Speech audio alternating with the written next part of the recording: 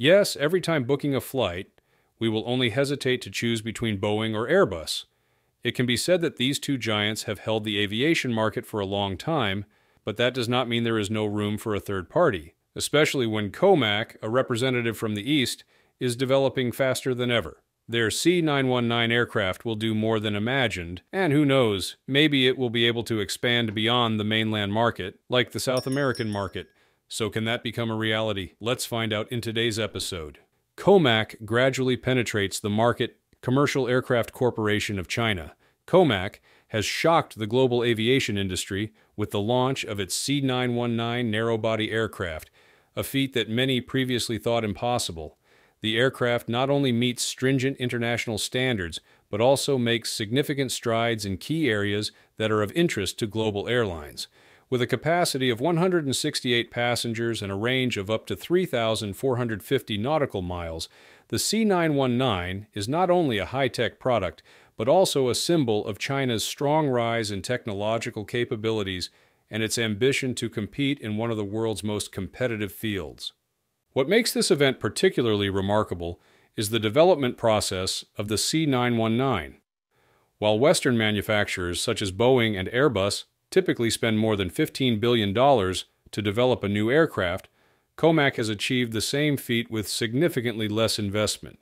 This success is due to strong support from the Chinese government and innovative manufacturing processes. The project has attracted the participation of more than 240 companies across 22 provinces and cities across the country, creating a completely new aerospace ecosystem in a country previously known mainly for manufacturing basic goods.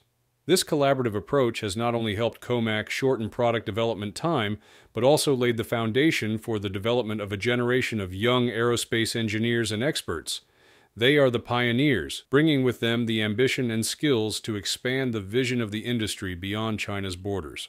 This ecosystem goes beyond aircraft manufacturing to promote comprehensive innovation in the aviation industry in the regions. Azul Linhas Aéreas, a rising star in the Brazilian aviation industry, is now at a bold and historic crossroads, a choice that few Western airlines would dare to make.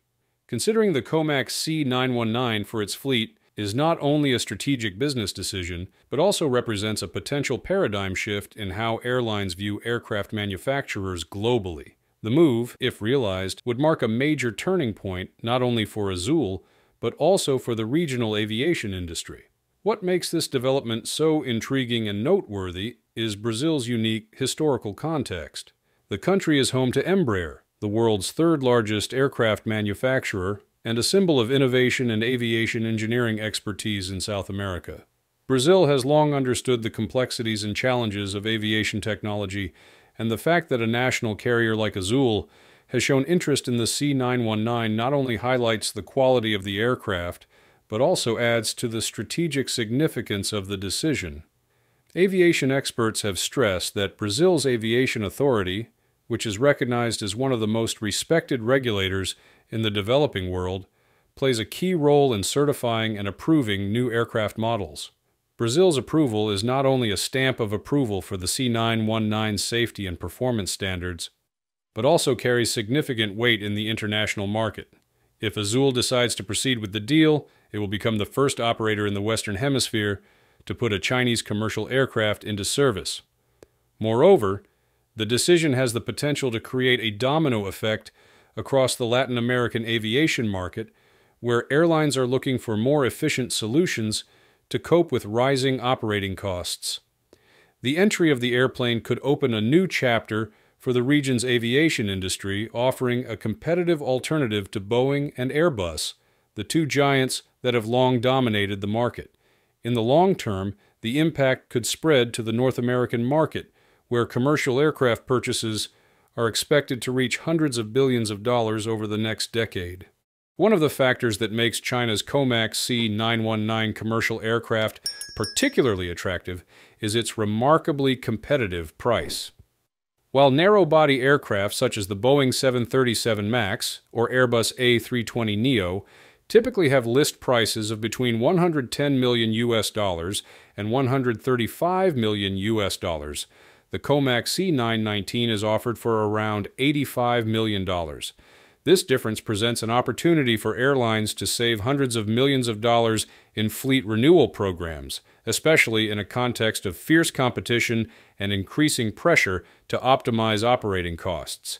However, price is only part of the story. COMAC also offers outstanding financing packages, thanks to strong support from Chinese financial institutions. These packages include low interest rates of around 2.5%, significantly lower than the industry standard of 4% to 5%. In addition, COMAC has committed to shortening the delivery time to just 18 months, a big advantage in the context of both Boeing and Airbus facing many delays in delivering new aircraft to customers. More notably, COMAC has designed the C919 with technical features that reduce maintenance costs by up to 15% compared to current generation aircraft. This is an important advantage potentially saving millions of dollars for operators in the risky commercial aviation industry.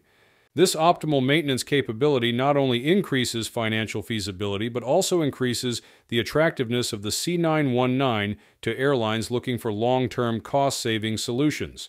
However, obtaining international certification remains COMAC's biggest challenge on the journey to penetrate the global market. While the C919 has received certification from Chinese aviation authorities, the road to approval from the U.S. Federal Aviation Administration and the European Aviation Safety Agency is much more complicated. The process requires COMAC to meet a series of stringent international aviation safety standards, including more than 100,000 hours of testing in extreme conditions, from Arctic cold to desert heat. It is an arduous journey that requires not only engineering efforts, but also the building of a global support infrastructure, something that Boeing and Airbus have spent decades perfecting.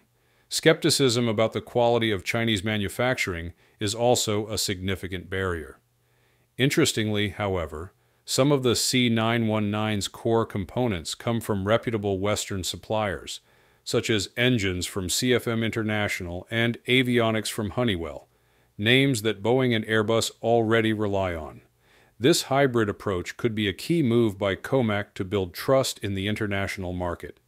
In addition, industry analysts are particularly impressed by the way COMAC has integrated digital technologies into the design and production of the C919. This has not only improved the aircraft's performance, but also helped COMAC optimize its manufacturing and after sales processes, creating a model that competes directly with its established rivals.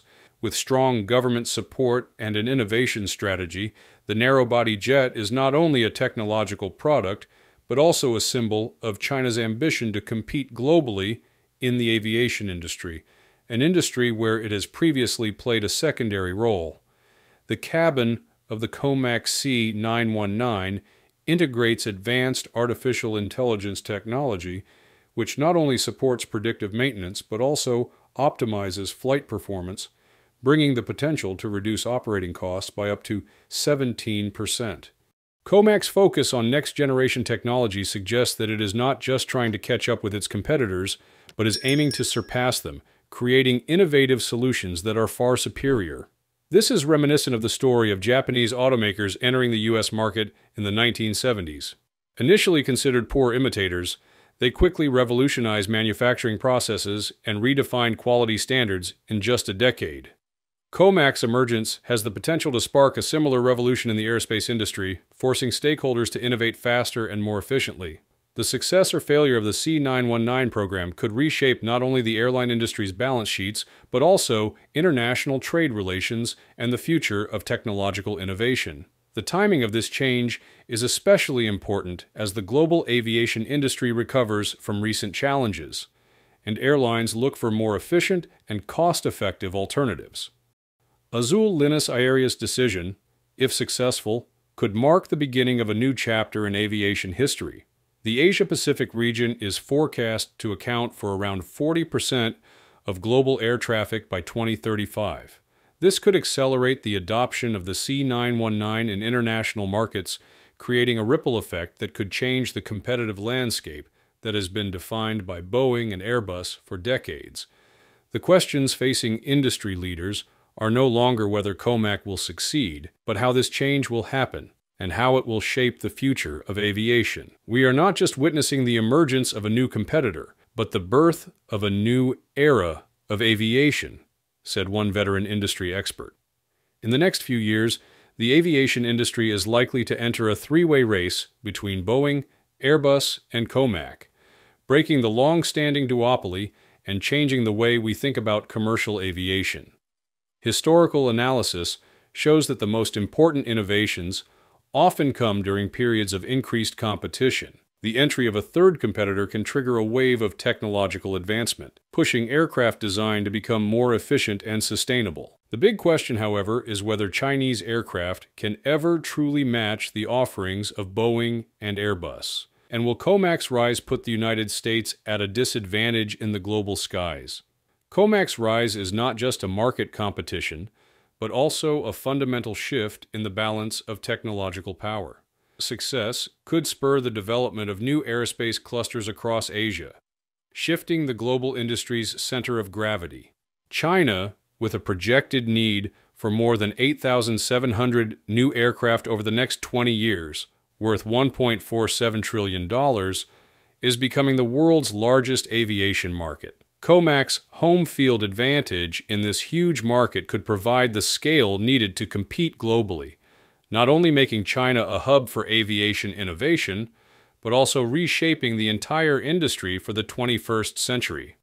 Ultimately, the rise of Comac and its C9 represents more than just the entry of a new competitor into the aviation market. It signals a profound transformation of the industry. As Comac leverages competitive pricing, advanced technology, and robust governmental backing, it challenges the dominance of Boeing and Airbus, forcing the sector to evolve faster. Azul Linhas Aérea's consideration of the C919 could be a pivotal moment not only for the South American market, but for global aviation dynamics.